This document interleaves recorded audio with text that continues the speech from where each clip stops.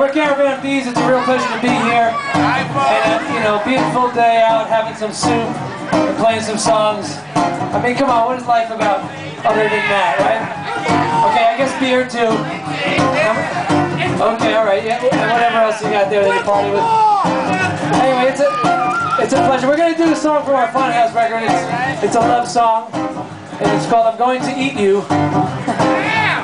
It's a sentimental, no, it's very touching, and I hope you guys enjoy it.